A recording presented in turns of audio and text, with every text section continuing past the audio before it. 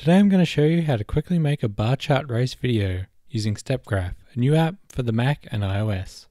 So the first thing you need to do is make sure that you've got your data in a CSV file format. I have an example here which is the most popular baby girl names in the state of New South Wales over the last decade. Then you can just drag that into the app. You can also give it a title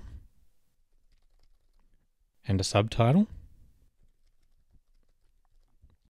You can give the values a prefix or a suffix if that's relevant.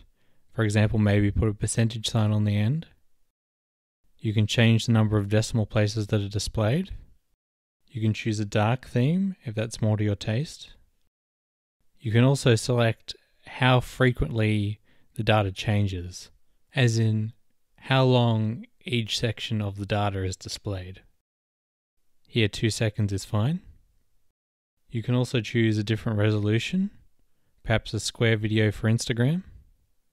Here we'll just stick to the standard 1080p. You can also shuffle the randomized colors if you didn't like the ones that it came out with first.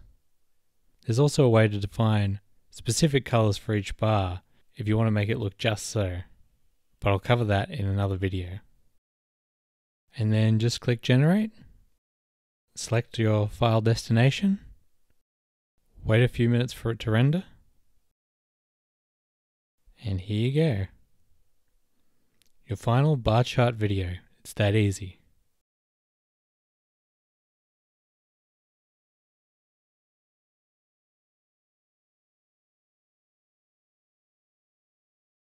Thanks for watching.